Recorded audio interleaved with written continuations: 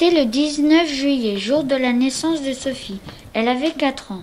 Sa maman lui faisait toujours un joli présent ce jour-là, mais elle ne lui disait jamais d'avance ce qu'elle lui donnerait. Sophie s'était levée plus tôt que d'habitude. Elle se dépêchait de s'habiller pour aller chez sa maman recevoir son cadeau. Te voilà de bien bonne heure, Sophie, dit la maman en souriant. Je vois que tu n'as pas oublié tes quatre ans et le cadeau que je te dois. Tiens, voici un livre. Tu y trouveras de quoi t'amuser. Ouvre-le, tu verras. Sophie voulut ouvrir le livre. À sa grande surprise, elle ne le put pas. Ce qui l'étonna plus encore, c'est qu'en le retournant, il se faisait dans le livre un bruit étrange. Sophie regarda sa maman d'un air étonné. Madame de Réran rit plus fort, elle lui dit C'est un livre extraordinaire. Il n'est pas comme tous les livres qui s'ouvrent tout seul. Celui-ci ne s'ouvre lorsque l'on appuie le pouce sur le milieu de la tranche. La maman appuya un peu le pouce, le dessus s'ouvrit et Sophie vit avec bonheur que ce n'était pas un livre, mais une charmante boîte à couleurs avec des pinceaux, des godets et douze petits cahiers, plein de charmantes images à peindre. Oh merci ma chère maman, s'écria Sophie, que je suis contente, comme c'est joli.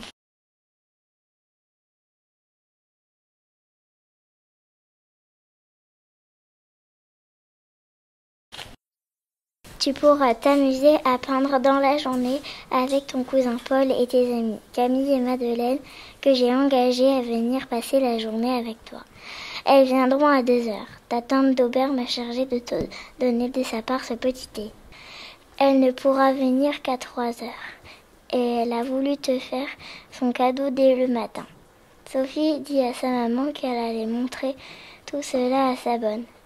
Elle emporta sa boîte et son thé et courut dans sa chambre.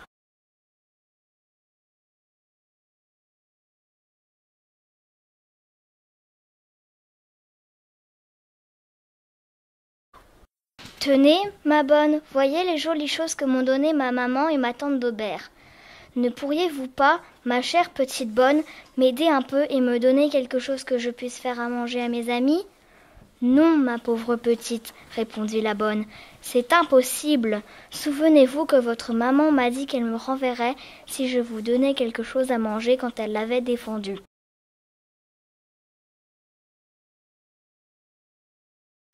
Sophie soupira et resta pensive. Petit à petit, son visage s'éclaircit. Elle avait une idée. Nous allons voir si l'idée était bonne. Sophie joua, puis déjeuna. En revenant de la promenade avec sa maman, elle dit qu'elle allait tout préparer pour l'arrivée de ses amis. Elle mit la boîte à couleurs sur une petite table. Sur une autre table, elle rangea les six tasses et au milieu, elle mit le sucrier, la théière et le pot de crème. À présent, dit-elle, je vais faire du thé. Elle prit la théière, alla dans le jardin, cueillir quelques feuilles de trèfle qu'elle mit dans la théière. Ensuite, elle alla prendre de l'eau dans l'assiette où on en mettait pour le chien de sa maman et elle versa cette eau dans la théière. La voilà, le thé, dit-elle d'un air enchanté. À présent, je vais faire de la crème. Elle alla prendre un morceau de blanc qui servait pour nettoyer l'argenterie. Elle en racla un peu avec son petit couteau, le versa dans le pot à crème qu'elle remplit de l'eau du chien, mêla bien avec une petite cuillère et, quand l'eau fut bien blanche, elle replaça le pot sur la table. Il ne lui restait plus que le sucrier à remplir. Elle reprit la craie à argenterie, en cassa de petits morceaux avec son couteau, remplit le sucrier qu'elle posa sur la table et regarda le tour d'un air enchanté. Là, dit-elle en se frottant les mains, voilà un superbe thé. J'espère que j'ai de l'esprit. Je parie que Paul ni aucune de mes amies n'aurait eu une si bonne invention. Sophie attendit ses amis encore une demi-heure, mais elle s'ennuya pas. Elle était si contente de son thé qu'elle ne voulait pas s'en éloigner. Elle se promenait autour de la table, le regardant d'un air joyeux, se frottant les mains et répétait Dieu, que j'ai de l'esprit, que j'ai de l'esprit. Enfin, Paul et les amis arrivaient. Sophie courut au devant d'eux, les embrassa tous. Elle les emmena bien vite pour montrer ces belles choses. La boîte à couleurs les attrapa d'abord comme elle avait attrapé Sophie sa bonne. Ils trouvèrent le thé charmant et voulaient tout de suite commencer le repas. Mais Sophie leur demanda d'attendre jusqu'à trois heures. Ils se mirent donc tous à peindre les images des petits livres. Chacun avait le sien. Quand on se fut bien amusé avec la boîte à couleurs et qu'on eut tout rangé soigneusement, à présent, s'écria Paul, prenons le thé. Oui, oui, prenons le thé, répondirent toutes les petites filles ensemble. Voyons, Sophie, fais les honneurs. Asseyez-vous tous autour de la table. Là, c'est bien. Donnez-moi vos tasses, que j'y mette du sucre. À présent le thé, puis la crème. Buvez maintenant. C'est singulier, le sucre ne fond pas. Mêle bien, il fondra. Mais ton thé est froid. C'est parce qu'il est fait depuis longtemps. Ah, quelle horreur Qu'est-ce que c'est? Ce n'est pas du thé, cela. C'est détestable, cela sent la craie. Que nous as-tu donné, là, Sophie? C'est détestable, dégoûtant. Vous trouvez? Comment si nous trouvons? Mais c'est affreux de nous jouer un tour pareil. Tu mériterais que nous te faisions avaler ton détestable thé. Vous êtes tous si difficiles que rien ne vous semble bon. Avoue, Sophie, que sans être difficile, on peut trouver ton thé très mauvais. Quant à moi, je n'ai jamais goûté à quelque chose d'aussi mauvais. Avale donc, avale Tu verras si nous sommes difficiles. Laisse-moi, tu m'ennuies. Ah, nous sommes difficiles. Ah, tu trouves ton thé bon? Bois-le donc, ainsi que ta crème.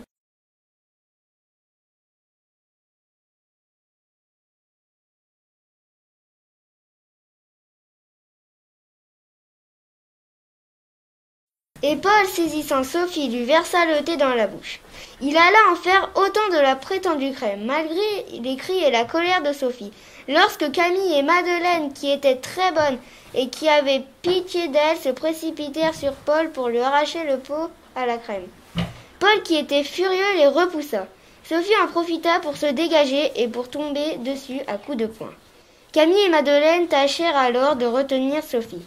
Paul hurlait, Sophie criait, Camille et Madeleine appelaient Au secours C'était un train à assourdir. Les mamans accoururent effrayées. À leur aspect, les enfants se tinrent, tous immobiles. Que se passe-t-il donc? demanda Madame Toréan d'un air inquiet et sévère. Personne ne répondit. Camille, explique-nous le sujet de cette bataille. Maman, Madeleine et moi, nous ne nous battions avec personne. Comment vous ne vous battiez pas?